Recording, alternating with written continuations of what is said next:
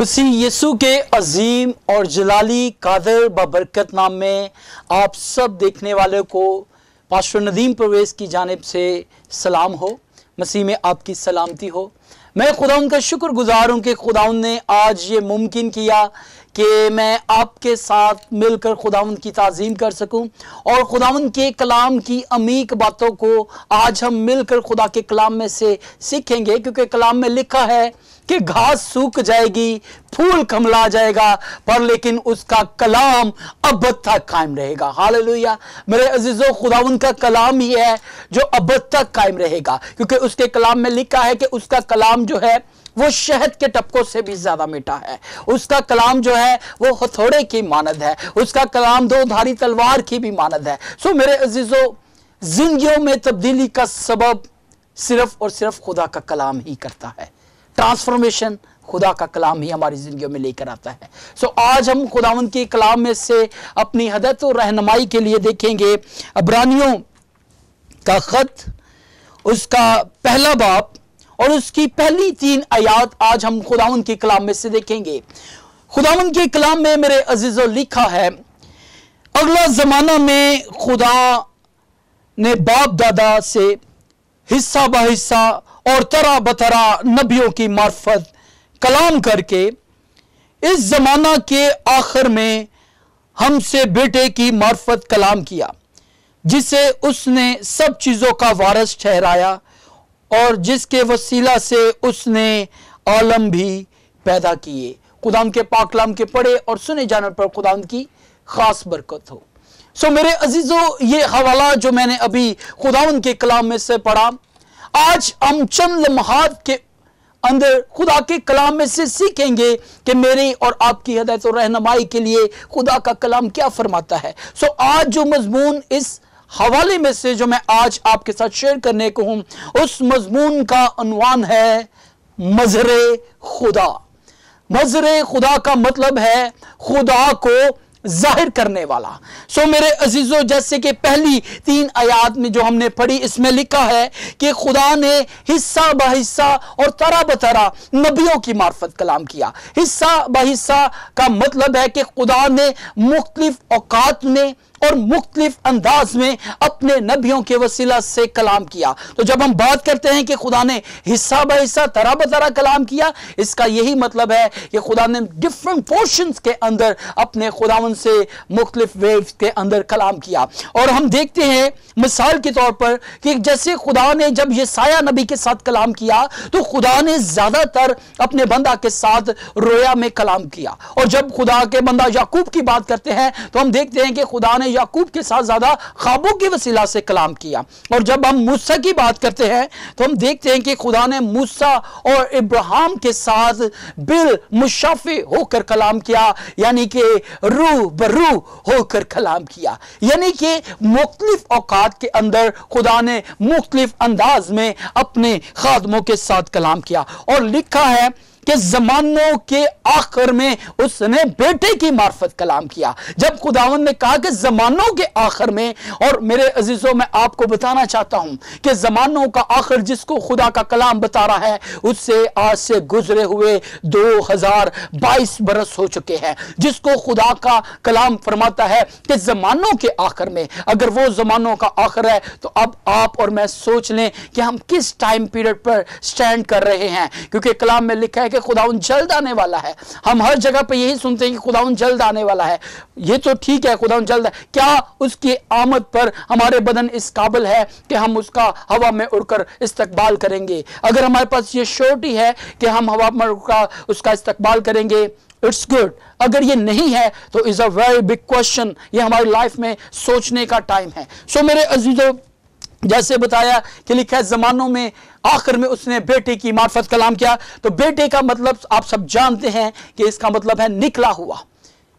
खुदा के मुँह का कलमा। हम सब जानते हैं खुदा एक है, पर लेकिन उसके अकनूम तीन है। पर लेकिन जो खुदा का जो दूसरा अकनूम है, उसने तजस्म लिया, उसने बदन इख्तियार किया और वो ज़मीन पर आया। उसने खुदावन यसु मसीह ने तजस्म जब अख्तियार किया तो कलाम में लिखा है, उसके अंदर दोनों शख्सियत थी। वो बायक्त वक्त, एक ही वक्त में कामिल खुदा भी था और कामिल इंसान भी था। तो जब खुदा है तो कामिल खुदा है। और जब इंसान है तो कामिल इंसान और फिलिपियों के खत में लिखा है, अगरचे वो खुदा के बराबर था तो भी उसने खुदा के बराबर रखने के कब्जे में चीज़ ना समझा, बल्कि अपने आप को खाली किया। He was a equal with God खुदावंद मसीह अपनी जात में कामिल खुदा और कामिल इंसान है। अब उस कामिल खुदा ने अपने आपको तजस्म लिया, बदन इख्तियार किया और इस ज़मीन पर आ गया। मेरे अजीजों, मैं आपको बताना चाहता हूँ, खुदावंद यीशु मसीह को नफ्से, कलाम नफसी कहा जाता है। और ये जो कलाम हमारे हाथों में तहरीरी शक्ल के अंदर मौजूद है, इसे कलाम लफ्सी कहा जाता है। और एक है कलाम इल्हाम, जिसे लगौस कहा जाता है, जो इल्हाम से आता है। और मेरे जो ये तो मैं आने आपको बताया, अब मैं आपके साथ मेरे अजीज़ों खुदा यसु मसीह का मकाम, उसकी शान और उसके काम बयान करना चाहता हूँ। क्योंकि मैंने बताया कि आज जो मजमून है, वो है मजर खुदा, यानी कि खुदा को ज़ाहिर करने वाला। सो मेरे जीजों में आपको यस्सु मसीह का मकाम बताता चलूँ। यस्सु मसीह का मकाम क्या है?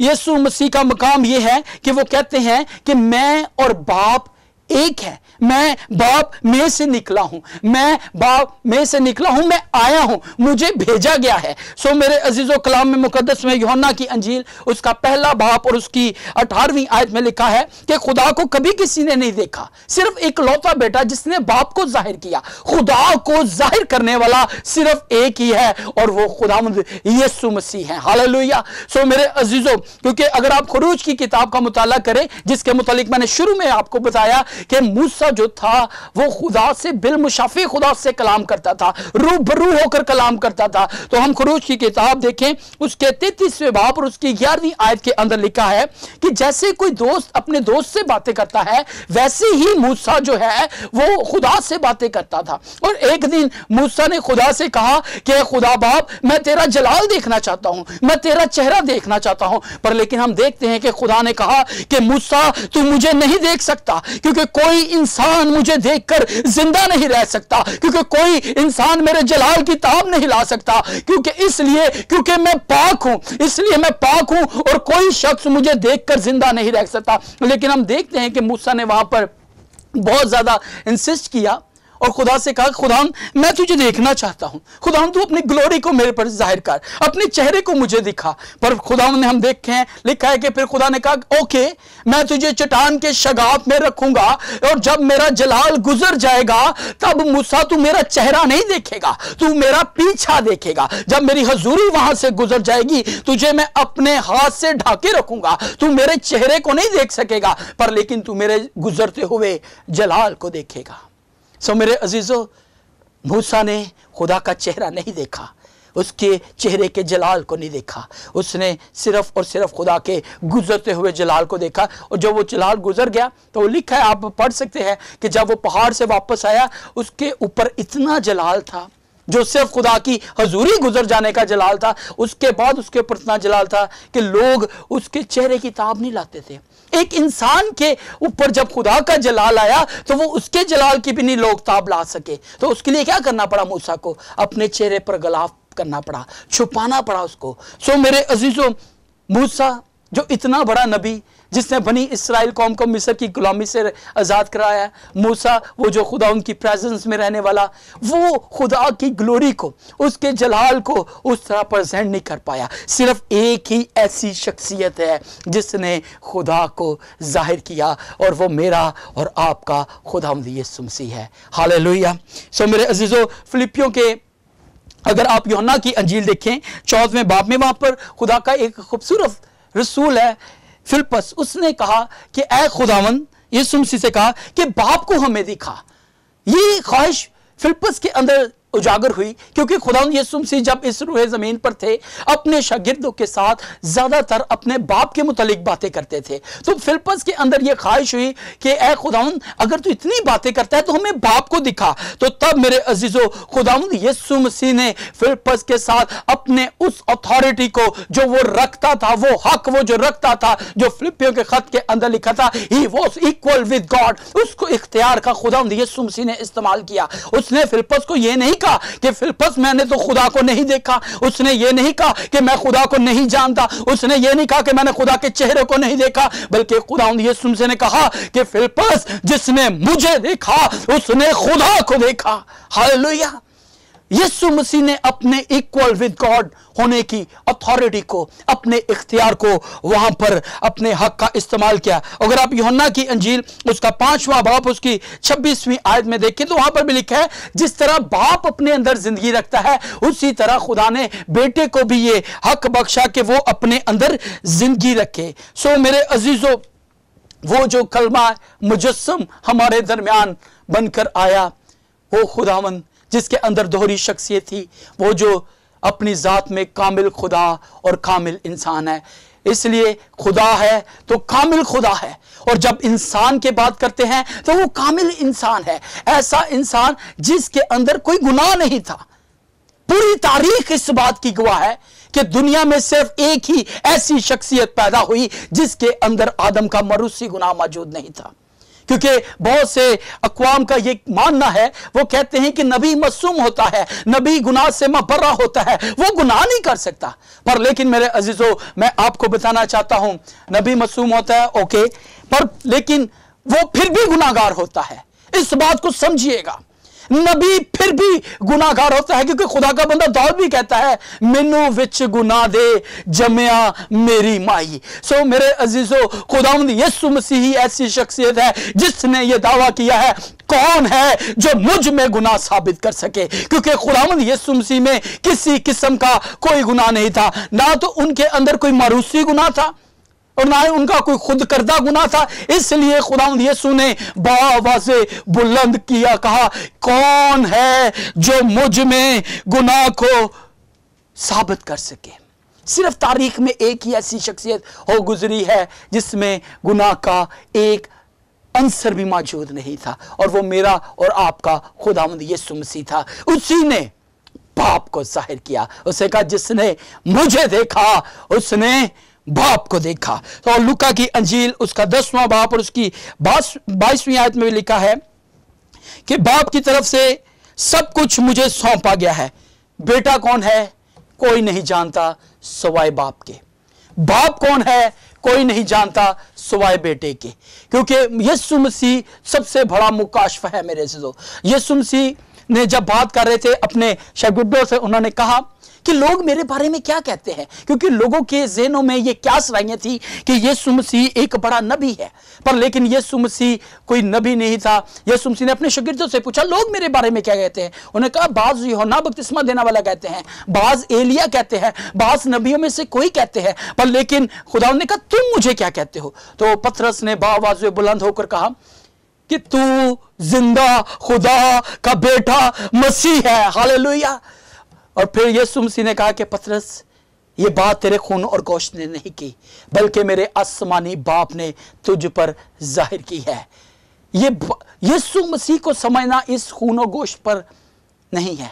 कलाम में लिखा है कि जब तक खुदा किसी के जहन को ना खोले, वो मसीह यीशु को नहीं समझ सकता। यीशु सबसे बड़ा मुकाशवा है। उसको समझने के लिए पाखरू की ज़रूरत है। खुदा को समझने के लिए हम यीशु को समझने की ज़रूरत है। ये एक दूसरे में मौजूद हैं। सो मेरे अजीज़ों, ये तो था यीशु मसीह का मकाम जो मैंने आपके साथ शेयर किया। सो मेरे अजीज़ों, मैं आपको बताना चाहता हूँ ये मकाम था। अब मैं यीशु मसीह की शान को और उसके कामों को आपके साथ जल्दी से बयान करना चाहता हूँ। यीशु मसीह के काम। यीशु मसीह के काम ये हैं कि खुदा, यीशु मसीह ने कहा कि खुदा का रूह मुझ पर है। उसने मुझे भेजा। क्या करूँ? ताकि मैं जो कैदी हैं, उनको रहाई दूँ। गरीबों को खुशखबरी सुनाऊं, और कैदियों को रहाई बख्शूं, अंधों को बनाई दूँ, और उनको आज़ाद करूँ, जो कुचले हुए उनको आज़ाद करूँ। ये खुदा ये मसीह का इस रूह ज़मीन पर आने का मकसद था। क्योंकि कलाम में लिखा है कि यह सुमसे का, मैं चाहता हूँ तुम ज़िंदगी पाओ, और कसरत की ज़िंदगी को पाओ। यीशु मसीह अबलीस के कामों को मिटाने के लिए इस रूह ज़मीन पर आया। जो जो राबता बागे अदन के अंदर मुंतका हो चुका था, उस राबते को बहाल करने के लिए खुदा यीशु मसीह इस रूह ज़मीन पर आए। ये उनके काम के एजेंडे के अंदर शामिल था कि अबलीस के कामों को मिटाए। अबलीस की उस कैद को तोड़े, जिसके अंदर गुनाह की वजह से इंसान कैद की हालत में आ चुका था। और वो राबता जो बागे अदन के अंदर मुंतका हो चुका चाह उस राबते को बहाल करने के लिए मेरा खुदा यीशु मसीह इस रूह ज़मीन पर आया। ये खुदा यीशु मसीह के काम के एजेंडे के अंदर ये उनके एजेंडे थे। ये काम के उनके चीज़ें थी जो उन्होंने इस रूह ज़मीन पर काम करना था। ये तो था, मैंने जो आपको बताया, यीशु मसीह का मकाम खुदा यीशु मसीह के काम। आखिरी सिर्फ़ शान आपको बताता चलो कि खुदा यीशु मसीह की शान क्या है। खुदा उनका बंदा पालूस, जैसे पहले अर्ज़ कर चुका हूँ फिलिपी के खत में लिखा है he was equal with God but लेकिन मेरे अजीज़ो, उसने अपने आप को खाली किया। इस रूह ज़मीन पर जब वो आया, कलाम फरमाता है कि उसने अपने आप को खाली किया। खादम बना, आदम की सूरत अख्तियार की। और अपना सारा प्रोटोकॉल अपनी सारी अथॉरिटी को, अपने सारे प्रोटोकॉल को सेटा साइड किया, उसको पीछे किया और एक खादम की सूरत बनकर इस रूह ज़मीन पर आया। क्योंकि अगर वो खुदा ही बना रहता तो मेरे अजीज़ों, कोई भी उसको सलीब नहीं दे सकता था, कोई भी उसको मार नहीं सकता था। सिर्फ़ और सिर्फ़ उसने सलीब के ऊपर एक डिवाइन काम किया। वो ये था कि दुनिया की सारी बदकारी को उसने अपने ऊपर ले लिया और अपने सारे होलीनेस को, अपने ग्रेस को इस दुनिया के अंदर ट्रांसफ़र कर दिया। जिसकी वजह से उसने बुलंद आवाज़ से सलीब पर भी कहा कि ए बाप, तूने मुझे क्यों छोड़ दिया? इसलिए छोड़ दिया क्योंकि कलाम फरमाता है, खुदा बदी को नहीं देख सकता। ये सुमसी पर दुनिया की बदियाँ आ चुकी थी और दुनिया के ऊपर ये सुमसी की पाकिजगी आ चुकी थी, जिसकी वजह से खुदावन का ध्यान यीशु से हटकर दुनिया की तरफ़ हो गया। क्योंकि आज जब भी खुदा हमें देखता है तो अपने बेटे में से हो के देखता है। इसलिए क्योंकि बेटा पाक है, हम भी उसे पाक दिखाई देते हैं। तो आए मेरे इज्जों हम खुदा के कलाम की रोशनी में अपनी ज़िंदगी पर गौर करें कि हम कहाँ पे स्टैंड कर रहे हैं। क्या खुदा जो जिस तरह खुदा ने कहा कि खुदा को ज़ाहिर करने वाला यीशु मसीह था, क्योंकि खुदा ने यीशु को भेजा और वो इस रूह ज़मीन पर काम किया। अब यीशु ने भी हमें भेजा है। उसने कहा, जाओ और अंजील की मुनादी करो। जिस तरह बाप ने बेटे को भेजा बेटे ने बाप का जलाल ज़ाहिर किया। यीशु मसीह ने मुझे और आपको भेजा है। हमने अपने बदनों से उसका जलाल ज़ाहिर करना है। आए मेरे जोम अपने सर को झुकाएँगे और दुआ करेंगे। कदूस पर मेहरबान ज़िंदा जलाली आसमानी बाप, मैं तेरी शुक्रगुजारी करता हूँ। आज की ज़िंदगी बख्श कलाम के लिए, खुदावन, तेरा कलाम राह, हक और ज़िंदगी वाला है। खुदा इन तमाम जानों के लिए जिन्होंने तेरा कलाम सुना, इनके लिए मैं तेरी बरकत को चाहता हूँ। और ये जो कलाम का बीज बोया गया है, ये इनकी ज़िंदगी में सौ गुना फल लेकर आए, ताकि सारा इज़्ज़त और सारा जलाल फ़क्त तेरे बेटे यस्सु के नाम को मिले। खुदा, उन तेरा जलाल हमारी ज़िंदगी से ज़ाहिर हो, क्योंकि तेरे कलाम में लिखा है, तुम नहीं जानते, तुम्हारा बदन रूल को जिसका मकदस है। खुदा तो इस बदन में रहकर अपने जलाली काम कर, और हमें अपने जलाल के लिए इस्तेमाल कर। मसीह यस्सु के नाम से दो मांग मांगते पाते हैं। आमीन। खुदा आप सबको बहुत बरकत दे मेरे God bless you to all